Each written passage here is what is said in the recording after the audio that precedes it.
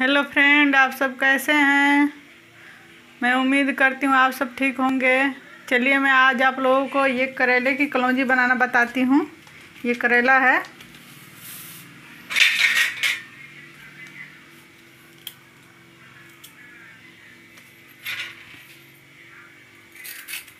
करेले को पूरे करेले को ऐसे छील लेती हूँ।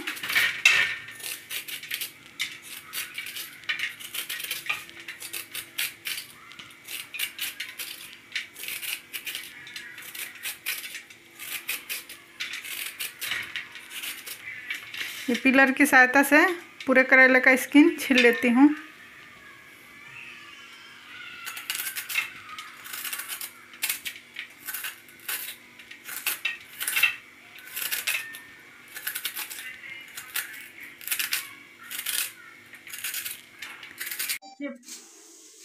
देखिए पूरे करेले छिल गया है, ये लास्ट करेला है।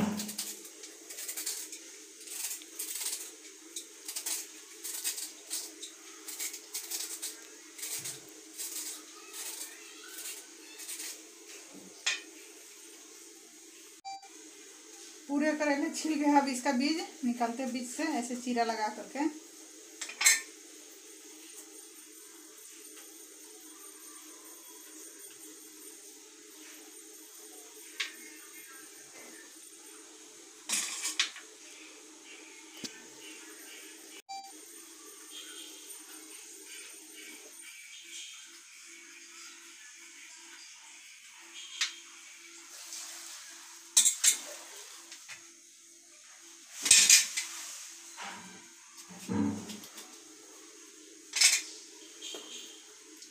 इसी तरह सारे करेले का बीज बीच में चीरा लगा करके निकाल देंगे। देखिए, सारे करेले का बीज निकल गया है। ये लहसुन है, ये दो प्याज है बड़ा बड़ा ये दो टमाटर है। इन सबको मोटा मोटा काट ली हूँ। अब इसको मिक्सी में पीस लूँगी। मोटा ही नहीं नहीं पीसेंगे, मोटा पीसेंगे।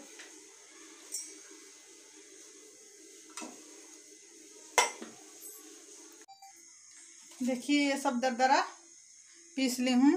बीज, उसका छिलका, प्याज और ये टमाटर।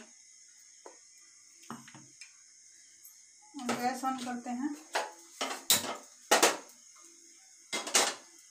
कढ़ाई रख दी हूँ।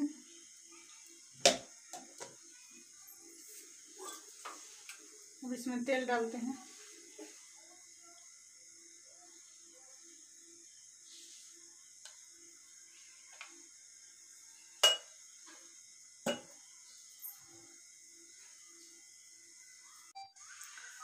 तेल गरम हो गया अब एक एक करके सारे करेले इसमें डालते जाएँगे।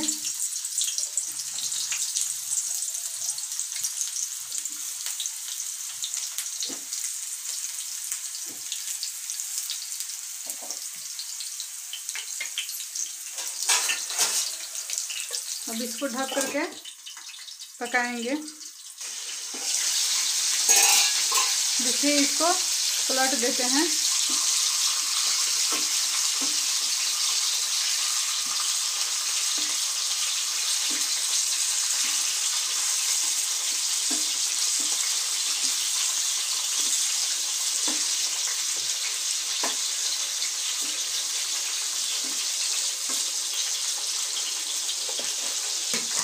अब इसके ऊपर नमक थोड़ा सा नमक और थोड़ा सा हल्दी डाल देंगे।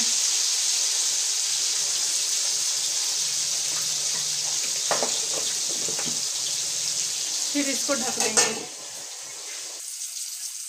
देखिए, इसको फिर पलटते हैं।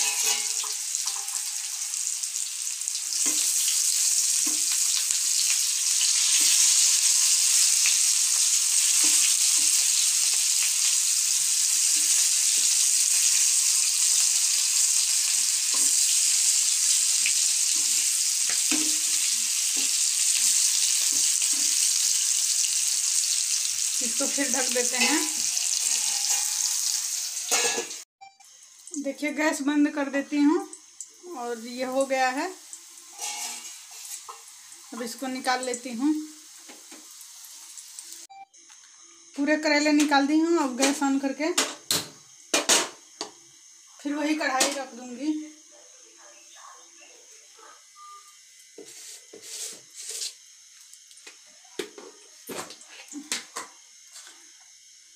इसमें थोड़ा सा मेथी डालूँगी।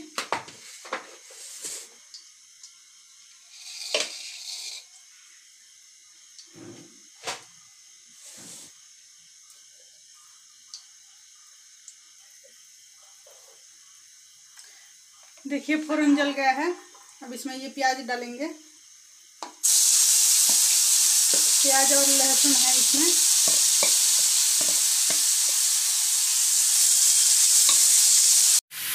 देखिए, प्याज भुन गया है। अब इसमें नमक,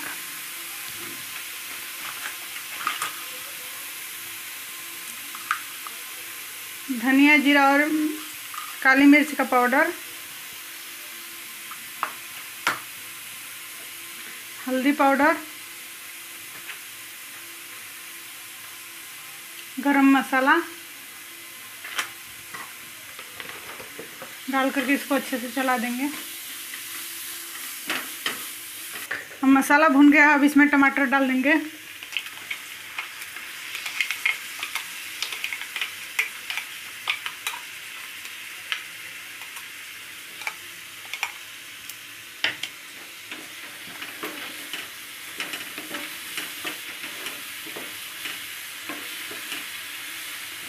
टमाटर भी अच्छे से भून लेंगे।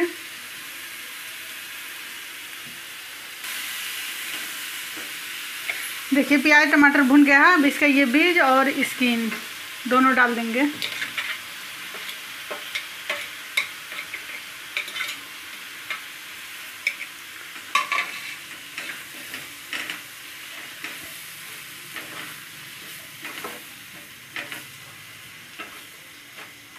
अब इसको अच्छे से ढक करके पकाएँगे।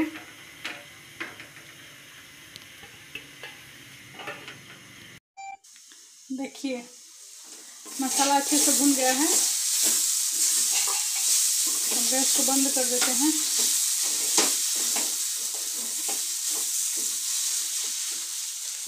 इसको उतार लेते हैं।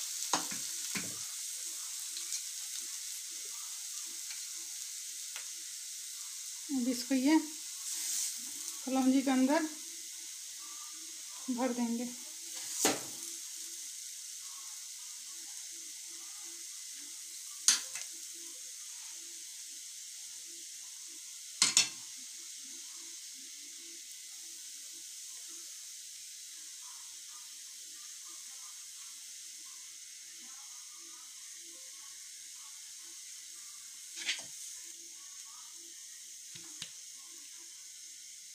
देखिए, ऐसे ही सारे करेले में मसाले को भर देंगे। देखिए।